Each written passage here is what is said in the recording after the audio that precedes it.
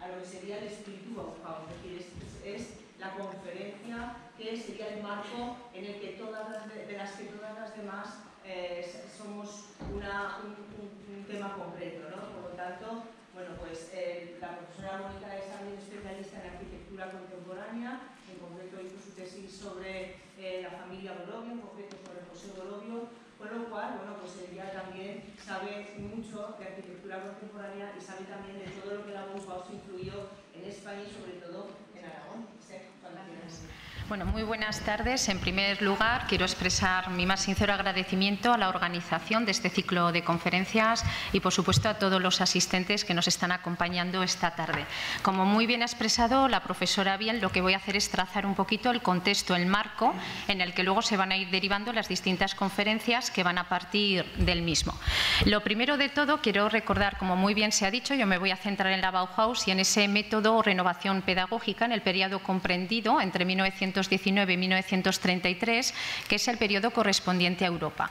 Pero antes de nada, quiero recordarles, estamos en el primer centenario de la fundación de Bauhaus en marzo de 1919, pero recuerden que también hace un siglo, en esa misma fecha de 1919, se estaba inaugurando el edificio de correos y telégrafos en Madrid, en la plaza de Cibeles. Entonces, esto es para que ustedes piensen esa simultaneidad, esos distintos pensamientos arquitectónicos y cómo no siempre se va a la par en lo que a construcción se refiere. Dicho esto, la Bauhaus se funda en marzo de 1919 y tienen que tener presente que es una institución artística, educativa, una de las más importantes de época contemporánea y como muy bien se ha expresado anteriormente, no podemos entender esta institución si sobre todo no se tiene presente el contexto del momento. ¿eh? Piensen ustedes que ha finalizado, se funda en marzo de 1919, unos meses después de la terminación de la Primera Guerra Mundial y como el propio devenir de la época es un devenir tumultuoso, con una marcada crisis política y este periodo tumultuoso también va a seguir a esa trayectoria de la Bauhaus. Y sobre todo le va a tocar vivir un momento de cambio social con la instauración e implantación de la República de Weimar. Importante también, su fundador es el arquitecto Walter Gropius, aquí representado en el año 1919. Un arquitecto que a lo largo de toda su trayectoria se fue aproximando al mundo de la tecnología, pero que sobre todo siempre tuvo, y sobre todo tras el episodio de la, guerra, de la Primera Guerra Mundial, una notable conciencia social que se, se, constata sobre todo en la materialización de la Bauhaus. Eh, Sí, a ver. Este arquitecto, como decía, sobre todo destaca por, esa, por ese compromiso con los ideas o los ideales socialistas y el hecho de que esta escuela se instale en Weimar no es casual, sino que sobre todo en aquellos momentos esta ciudad era una ciudad de, de marcado talante conservador y sobre todo esto intenta aplacar un poco esas intenciones que tenía Walter Gropius de hacer llegar a la sociedad la revolución. También este, este, eh, la Bauhaus instala, como ven ustedes aquí, en el antiguo edificio de la Escuela de Artes y Oficios, un edificio construido por el arquitecto belga Henry van de Velde.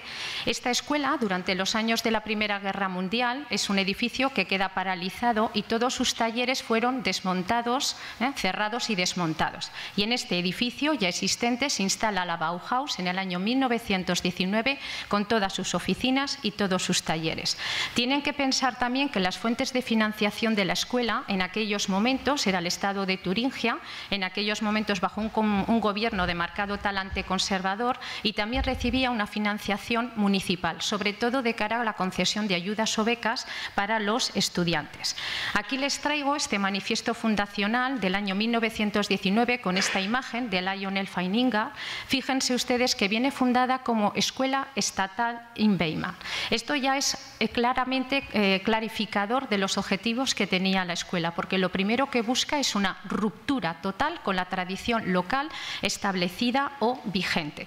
Eh, en primer lugar, el término Bauhaus, eh, como bien saben, Bau procede del alemán Baue y Haus das Haus, eh, un sustantivo que significaría la casa.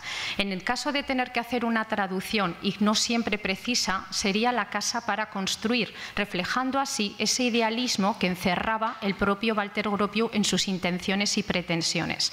Y al mismo tiempo enlazaría con ese concepto de la obra de arte total en la que el diseño es la síntesis de todas las artes bajo el refugio de la arquitectura. ¿eh?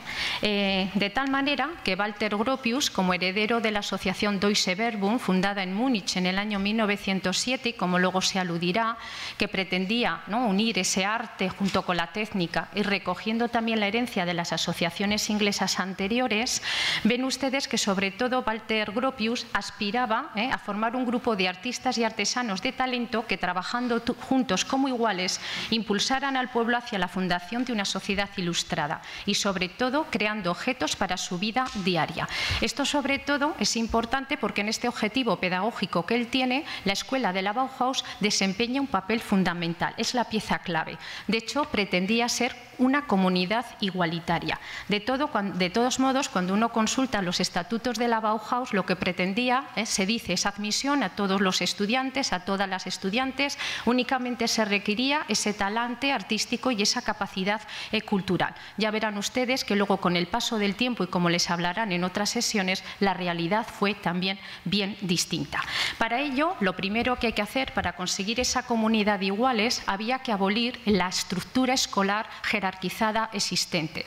Es decir, que ya no hablaremos de, de profesores y de estudiantes, sino que hablaremos, en todo caso, los eh, profesores serán llamados maestros o estudiantes capacitados y, por su parte, los estudiantes se les llamaba oficiales y, según su grado de formación llegarían también eh, a aprendices o, en todo caso, en su etapa final, a maestros adjuntos. Eh. Es importante que tengan presente también que el sistema escolar académico al que estamos acostumbrados viene abolido y viene completamente alterado.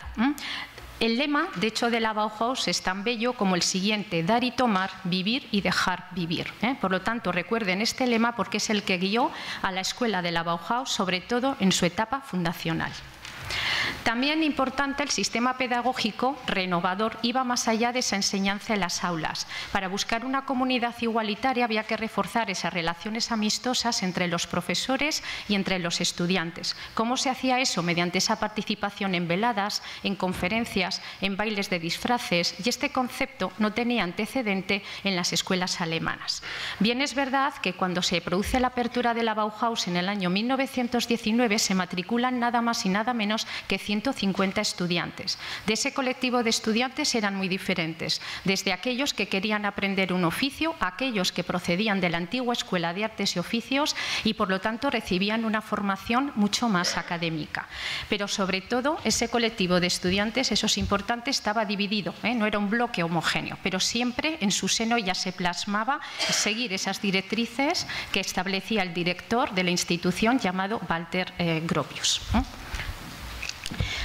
Por tanto, y como quedó aquí recogido, sobre todo el nuevo método de enseñanza se buscaba en esa integración o combinación de la enseñanza teórica y de la enseñanza técnica y sobre todo ese aprendizaje fundamentado, como ven en los talleres, de los que luego a continuación eh, aludiremos. De tal manera que todos esos estudiantes estaban interesados en recibir una formación profesional que al mismo tiempo tuviese ese talante eh, o ese componente práctico.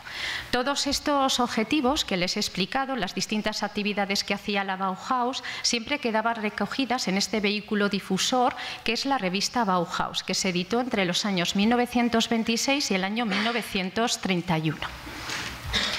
En el desarrollo histórico de la Bauhaus me parece importante, ahí les he puesto fundada inicialmente como una escuela de artes y oficios, eh, cabría destacar tres etapas significativas. La primera, una fase de creación entre 1919 y 1923, siempre instalada en Weimar bajo la dirección de Walter Gropius.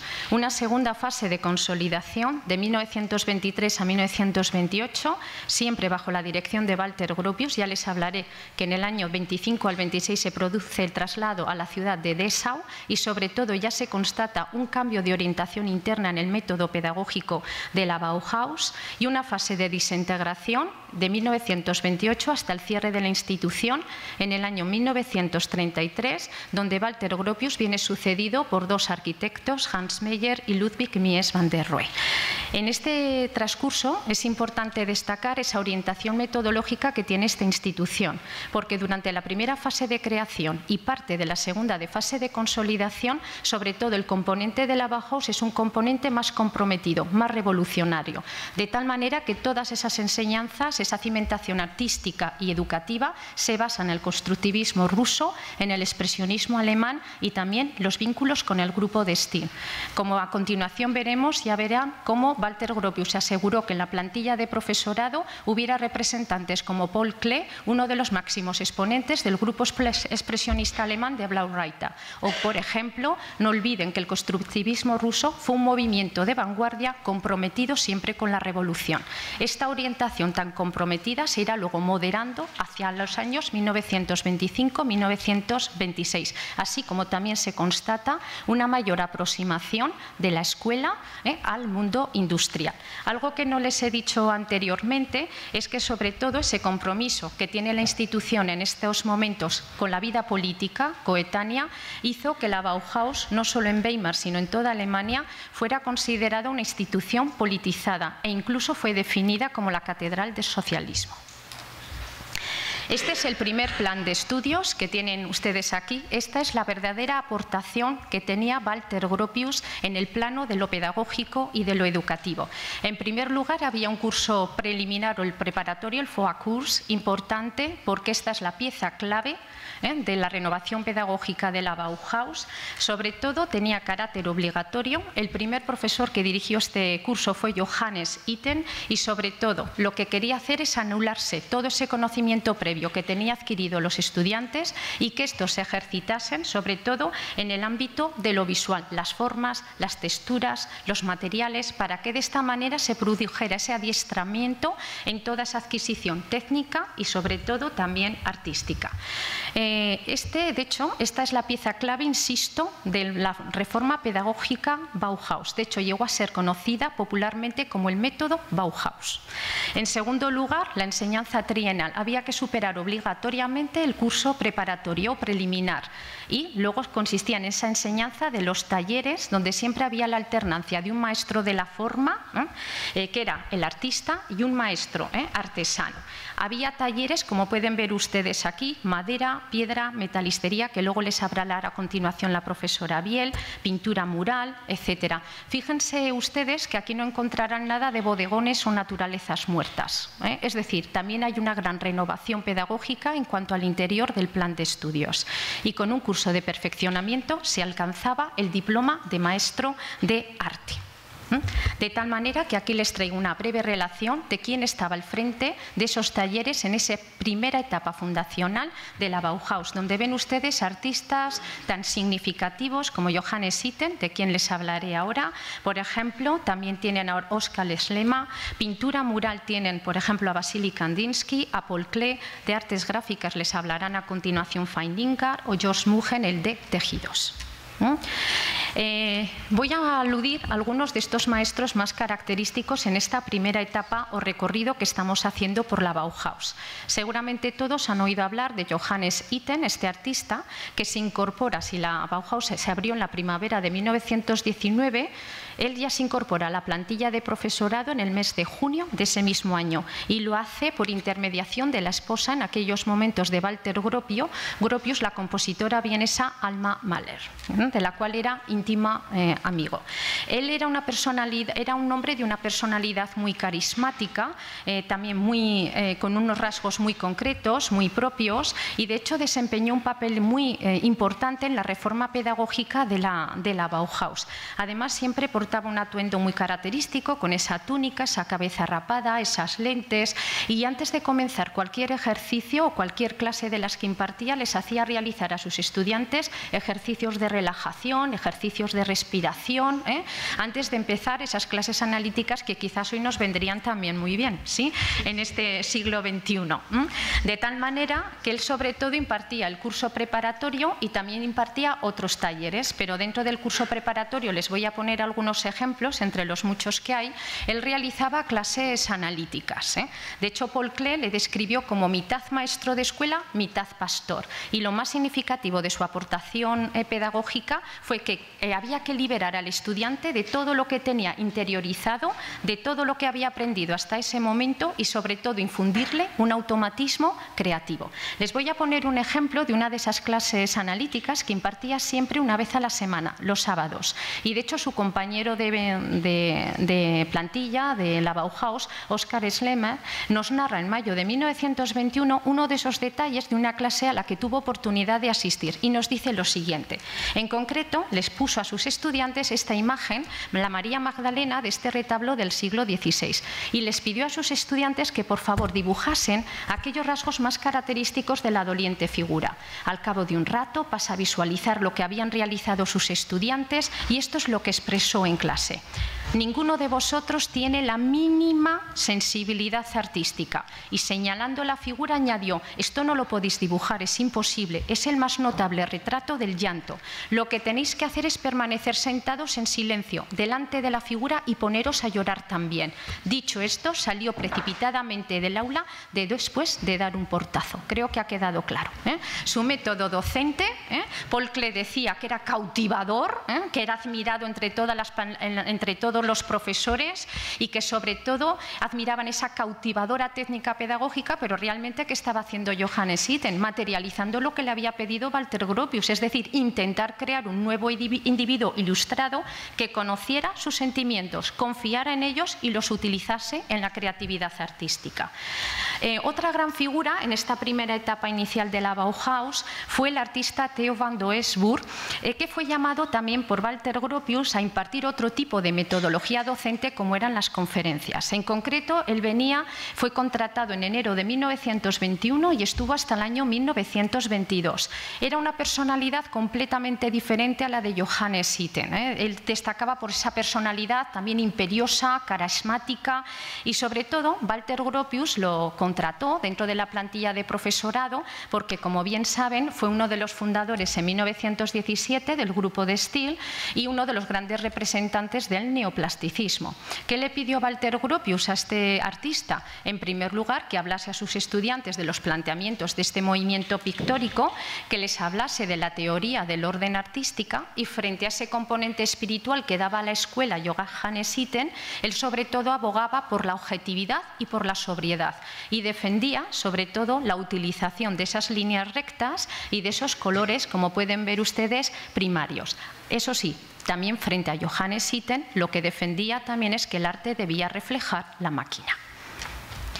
Eh, a finales del año 1921, el Estado de Turingia, que era aquel que subvencionaba la Bauhaus, se produce una orientación, vamos a decir, de gobierno, de un talante más liberal, hecho que favorece también internamente el desarrollo de la Bauhaus. Johannes Itten abandona la escuela, lo voy a dejar así, y Vasily Kandinsky, en cambio, es contratado para sustituir a Johannes Itten en el año 1922. Y de hecho fue una figura esencial ¿eh? en lo largo del desarrollo de la Bauhaus en el ámbito docente y estuvo allí hasta el año 1933.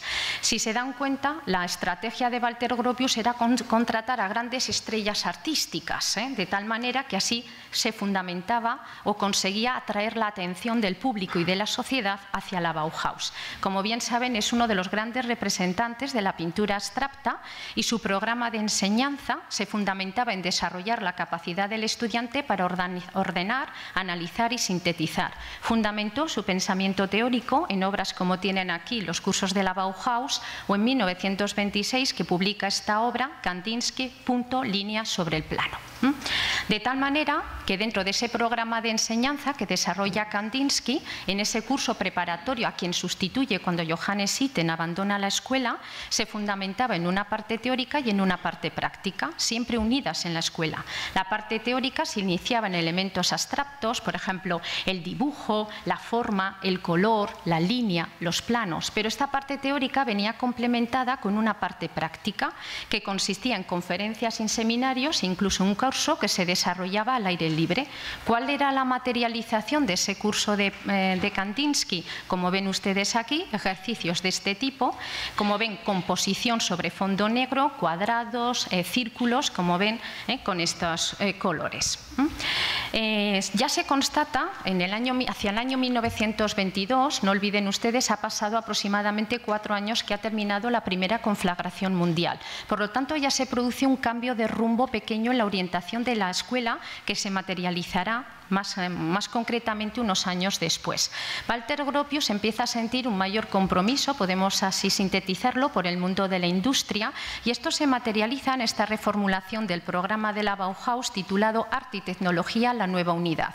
En el año 1922 se programa una exposición que finalmente se materializó en el año 1923, donde eh, se desea exhibir los proyectos que están realizando los estudiantes de la Bauhaus eh, y en el todo y también venderlos, aunque como luego se verá, no obtuvo esta exposición los resultados que se tenían esperados. De hecho, aquí les pongo una imagen de algunos de los productos que se exhibieron en esa exposición celebrada en Weimar entre el 15 de agosto y el 30 de septiembre del año 1923. Ven piezas textiles, bien piezas de mobiliario, bien algunas piezas, lo ven ustedes, de, de utensilios domésticos, enseres. Como pueden ver ustedes, ven formas abultadas, materiales como la terracota, es decir, formas que no son resultado de la máquina. Y había que dar esa nueva orientación. En el plan de estudios de 1923 no se produce a nivel pedagógico ninguna modificación con respecto a su estructura o planteamiento. Se mantiene el elemento esencial y pedagógico, el método Bauhaus, el curso preliminar. Eso sí, como Johannes Itten abandonó la escuela, después fue sustituido por Molly Nagy y Joseph Albers. La enseñanza trienal se mantiene con ese planteamiento de las talleres, con figuras como Marcel Braua, que les hablarán a continuación, o Molly Nagy, y con el mismo planteamiento. Brevemente, sí que quiero mencionarles eh, a este artista húngaro que se incorpora a la escuela en el año 1922, que trajo realmente a la Bauhaus un marcado compromiso con la ideología del constructivismo ruso. De hecho, él decía, eh, que aspiraba a la erradicación del arte a favor de un diseño moderno que adoptara una estética mecánica. Él también estaba al frente del taller de metal, como luego les hablaré. Compartía ese curso preparatorio, lo impartía conjuntamente con Joseph Albers, únicamente de referencia porque seguramente será una figura que saldrá estudiada yo establezco lazos para que luego otros los desarrollen. Está Annalise Fleischmann, luego conocida cuando contrajo matrimonio con Joseph Albert, Annie Albers, que había sido alumna de la escuela del taller de tejidos y luego se convirtió en una magnífica eh, diseñadora eh, textil. ¿sí? Como decía, en uno de esos cursos preparatorios eh, que compartía con Molly Nagy, cuál era la finalidad del FOACURS, estudio de composición y de experimentación material con materiales como el papel, cristal y en metal. Fíjense que aquí lo que dedicaba Joseph Albert con sus estudiantes era esa experimentación, en este caso concreto, con el papel. ¿sí? De hecho, hay un testimonio muy concreto de uno de los estudiantes de, de Joseph Albers que luego se convirtió en pintor y que recoge ese método docente. Eh, y que sobre todo dice lo siguiente, dice este pintor que había asistido a la clase de Joseph Albers. Recuerdo aún el primer día de clase como si lo estuviera viviendo. Joseph Albers entró en el aula con un atillo de periódicos bajo el brazo, que luego repartió entre los estudiantes. Después se dirigió a nosotros y dijo más o menos, damas y caballeros, nosotros somos pobres y no ricos. No podemos permitirnos perder material ni tiempo. Tenemos que hacer de lo peor lo mejor. Cada obra de arte tiene un material de partida muy concreto y por eso lo primero que tenemos que hacer es investigar cómo se ha logrado este material. A este objetivo vamos a experimentar antes de nada, sin necesidad de que produzcamos algo. Este estudio deberá motivar a pensar constructivamente. ¿Me han comprendido? Quiero que ahora tomen todos los periódicos que han recibido y que hagan de ellos más de lo que por el momento son. También quiero que respeten el material, que lo usen adecuadamente y que sean conscientes de sus cualidades. Si pueden arreglárselas sin otros miedos, medios, cuchillos, tijeras, tanto mejor, que se diviertan. Pasadas unas horas regresó Joseph Albers al aula y nos hizo entender los resultados de nuestros esfuerzos en el suelo. Había máscaras, barcas, castillos, aviones, animales y diversas figuritas ingeniosamente discurridas. El calificativo que nuestras creaciones merecieron fue cosa de parvulitos. Albers opinaba que para esas composiciones había materiales más adecuados. Luego señaló una composición extremadamente Siblen. Un joven arquitecto húngaro la había realizado. No había hecho otra cosa que doblar el periódico a lo largo de tal modo que se sostenía de pie como un ala. Ahora nos explicaba Joseph Albers qué bien había sido entendida la naturaleza del material y qué bien había sido utilizada y qué acorde en el proceso de doblar trabajando con papel, puesto con este proceder se transformaba un material tan blando en rígido, tan rígido que podía sostenerse sobre su parte más delgada, es decir, el canto. Con ello pierde el papel su aburrido aspecto exterior, su cansancio. Esta especie de lavado de cerebro, esta es la clave del curso preparatorio, por el que pasábamos en el curso preparatorio, nos llevaba, sin lugar a duda, a pensar con claridad. Les he destacado en rojo palabras como experimentar, pensar constructivamente, investigar, material y lavado de cerebro. Fundamental, esas directrices donde prima ese constructivismo, es decir, ese entendimiento técnico y adecuado de los materiales. Eh, como luego les hablará la profesora Biel Molina, que además del curso preparatorio estaba al frente del taller de metal, uno de sus estudiantes, Wagenfeld, con esta lámpara de mesa, fundamentados estos diseños en formas geométricas básicas y con utilización de nuevos materiales. Como ven ustedes, les he mencionado a Joseph Albers, que era docente y que impartía junto con Molina ese curso preparatorio. Pero también quiero decirles que muchos de los estudiantes llegaron a ser docentes de la Bauhaus, no solo el caso, por ejemplo, de Joseph Albers. Y a este respecto, y como de este tema seguramente les hablarán, eh, quiero mencionarles que eh, terminado el curso preparatorio, en un principio había libertad para elegir cualquiera de los talleres que ofrecía la Bauhaus, pero en un momento determinado de la dirección se consideró que había una abundante presencia femenina y que esa presencia femenina debería ser dirigida hacia talleres como por ejemplo el de textil, puesto que las mujeres dominamos mejor las superficies planas de los tejidos o de las pinturas ¿eh? murales. O por ejemplo otros talleres, pero estos aspectos serán destacados a continuación. En esta obra Sí que me parece importante en este taller de tejidos, aquí está el profesor Josh Nuge, que se licenció, por así decirlo, ¿no? se dio de baja ¿no? en noviembre del año 1926 en la Bauhaus, y al lado está Gunther Stolz, que retomó el taller de tejido en el año 26 hasta el año 31. Y aquí ven ustedes en la margen inferior a la ya citada Annie Albers. Eso sí, casualmente hubo mujeres en otros talleres, como en este que ven ustedes, Marien Brand, que les hablarán, ¿eh? que fue alumna de Molina y luego fue subdirectora del taller de metal durante dos años, con sus bellísimos diseños que les hablará la profesora Biel. Gunther Stolz al frente del taller de tejido, ¿eh? como la ven aquí, antigua alumna y luego convertida en profesora, en maestra, aquí con algunos de sus estudiantes en esta imagen. Y lo más importante es que en esa orientación que va dando el ese método pedagógico en el seno de la Bauhaus, ella va abandonando esa concepción más artesanal, va orientándose hacia el mundo del diseño y sobre todo hacia la experimentación de nuevos materiales. Y aquí dejo otra puerta abierta porque ven cómo colabora con Marcel Bragua en este mueble, lo ven aquí de madera. ¿eh? Eh, ya trasladándose en el año 1925, la Bauhaus tiene que cerrar en su sede en Weimar por motivos económicos y se traslada a Dessau, siempre en, en Alemania.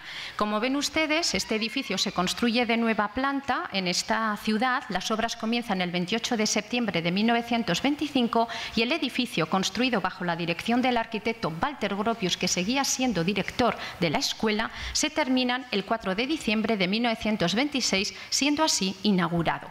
Lo importante es que cuando vemos el edificio de la Bauhaus como representación de la arquitectura moderna, no debemos ver solo un estilo arquitectónico, sino que tenemos que ver una plasmación materializada de un programa educativo que, se, que estaba o se deseaba implementar en la Bauhaus, o sea que es más que arquitectura.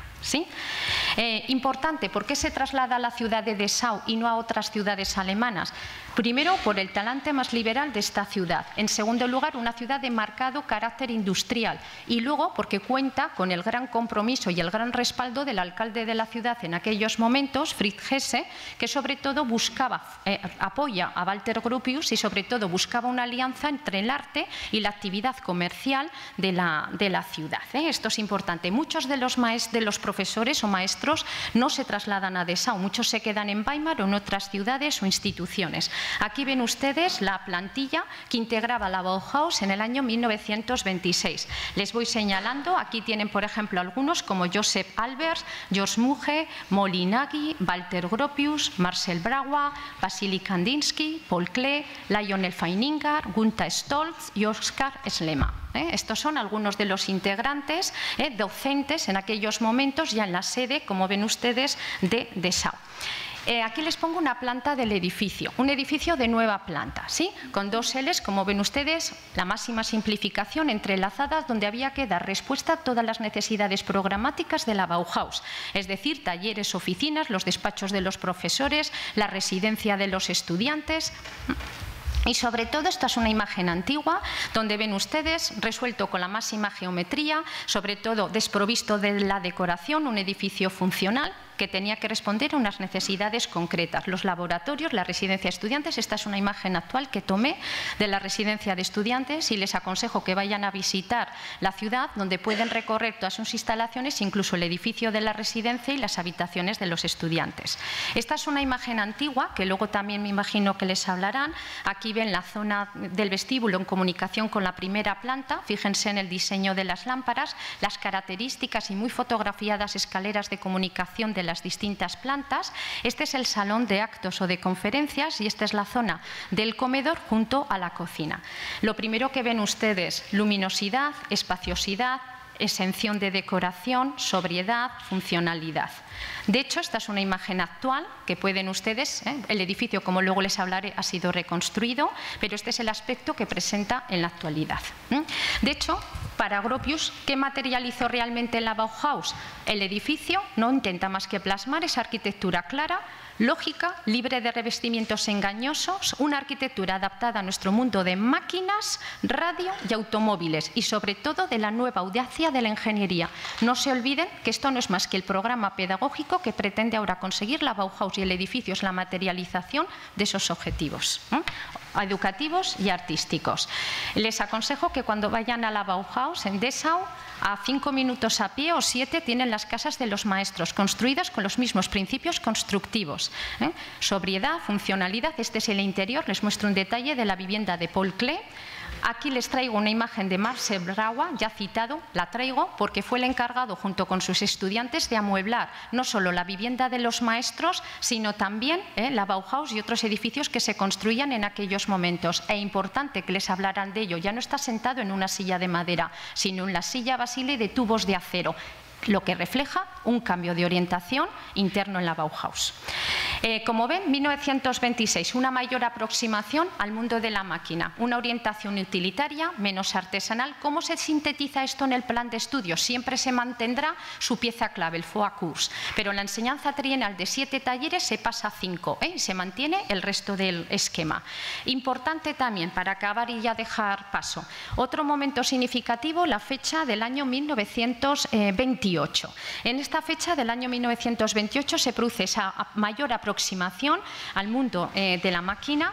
En estos momentos Walter Gropius, con, numerosas controversias, con numerosas controversias internas, ¿eh? por las que estaba atravesando y con el apoyo sobre todo de Vasily Kandinsky, que en aquellos momentos Vasily Kandinsky, que en aquellos momentos podemos decir que era el director de facto, el verdadero director de la institución de la Bauhaus. Ya saben ustedes que en la Bauhaus no había propiamente un departamento de arquitectura hasta ese momento.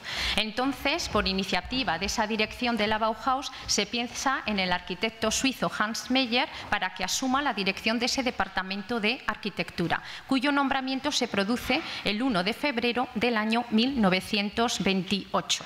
De, hecho, cuando se anuncia el nombramiento de Hans Meyer, días, dos días después, el 3 de febrero de 1928, Walter Gropius comunica a, la escuela su, dimisión. ¿eh? Ya no quiere saber nada, por así decirlo, ¿eh? de la escuela de la Bauhaus, aunque nunca se desvinculó ¿eh? de ella. Importante, Hans Meyer imprime un nuevo cambio en el programa pedagógico de la Bauhaus, lo adapta a las necesidades del momento y lo más importante, ya piensa en prototipos para la industria. Aquí se genera un gran debate en el seno del profesorado, porque todavía hay profesores de disciplinas artísticas como Vasily Kandinsky que se oponían a esa actividad artística de carácter comercial, mientras que por contra Hans Meyer ya eh, su finalidad eran esas, eh, prestar mayor atención a los aspectos prácticos de utilidad y la función social, como ven ustedes aquí. De hecho, en estos momentos eh, podemos decir que la Bauhaus como institución comprometida a nivel político es cuando alcanza su momento más álgido, lo voy a dejar allí por las directrices marxistas del que llegó a ser director de la escuela de la Bauhaus, ¿sí? y de hecho podemos decir muy finamente que se le invitó a presentar su dimisión. En ese momento entra de nuevo en escena Walter Gropius y piensa que la dirección puede ser asumida por el arquitecto alemán Ludwig Mies van der Rohe, figura que ustedes seguramente conocen, reconocida a nivel internacional porque ya había construido obras tan significativas como el pabellón español, el pabellón perdón, alemán en la exposición de Barcelona de 1929 y donde se sintetiza todo su pensamiento arquitectónico. De hecho, fue nombrado eh, por intermediación, eh, siempre en este caso de Walter Gropius, eh, director de la escuela el 3 de septiembre del año 1930.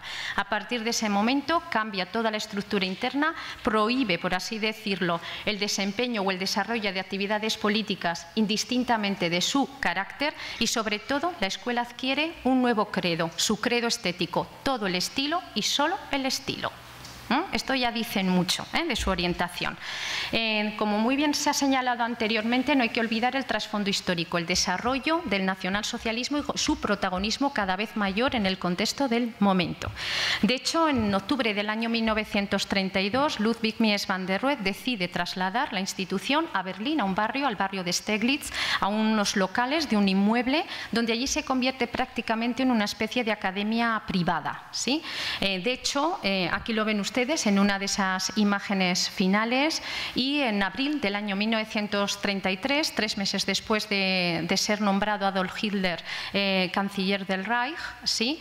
Eh, la institución, la Gestapo entra en los locales de esta institución y viene cerrada o clausurada definitivamente. Pero cuando la Bauhaus, por así decirlo, se produce esa extinción en Alemania, va a producirse un nacimiento de la misma en los Estados Unidos. No olviden que, por ejemplo, Ludwig Mies van der Rohe, Walter Gropius, Joseph Albers, junto con su esposa Molinagui, se trasladan a los Estados Unidos y abrirán concreto Molinagui la nueva Bauhaus en, los Estados Unidos. ¿eh?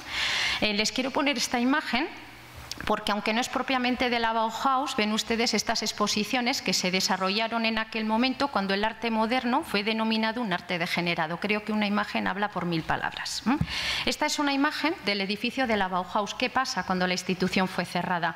Aquí la ven ocupada por los nazis hacia el año 1936 que constatan abandono ¿eh? del edificio, como ven ustedes, y un deterioro evidente. En la Segunda Guerra Mundial, si ustedes conocen algo de la Segunda Guerra Mundial, afectó al patrimonio sobre todo ahora me centro en, Berlín y en otras ciudades alemanas, de manera muy notable. Aquí sirvió como barricada, como defensa. Como ven, este edificio fue mm, seriamente castigado.